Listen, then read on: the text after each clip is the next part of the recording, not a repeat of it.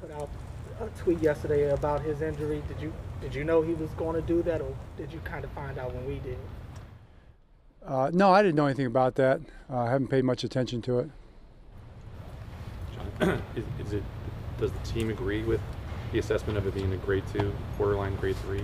Well, you know that's the thing. It's not something that uh, that we can comment on. You know, the, the, the nature of an injury specific is is really the only person that can comment on that as a person. I mean, there's there's laws along those lines. We're educated by the league in terms of what we're allowed to say and what we're not allowed to say. So that's nothing I could ever begin to comment on.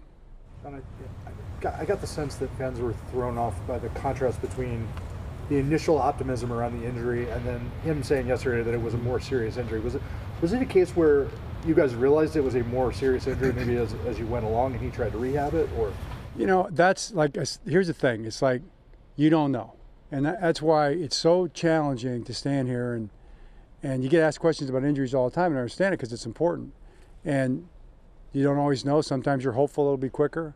I know I'm always hopeful that guys get back quicker. That it's the front end of any kind of a prediction. Sometimes it goes the other way and it's longer, and you're disappointed, and that's why it's really tough to to say. I mean, if I get up here and say it's going to be a certain amount of time and it doesn't turn out to be that time, and everybody's like, well, you know, you're not being honest with us. It's like, no, you really don't know. That's how medicine works. You just don't know, and and I sure don't know. I mean, I, there's a range in there somewhere, and and as a coach, you just try to get your guys ready and you hope that the guys get back. Uh, had he communicated to you that he felt his knee was unstable?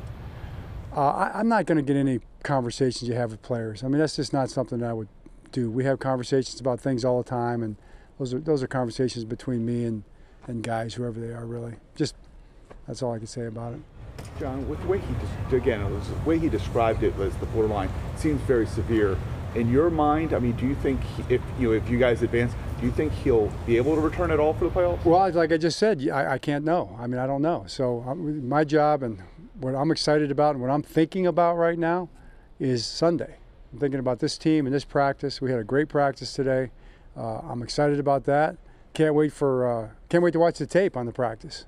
In all honesty, I can't wait for the meetings tomorrow morning. You know, I can't wait for tomorrow night's meetings. And I sure can't wait for the game to start. You know, I'm going to have to wait because it's not going to start until what 8:20 on Sunday night.